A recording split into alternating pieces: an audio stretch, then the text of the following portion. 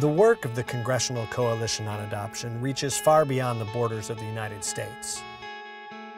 CCAI sponsors fact-finding trips to countries such as China, Russia, Guatemala, Romania, and Uganda.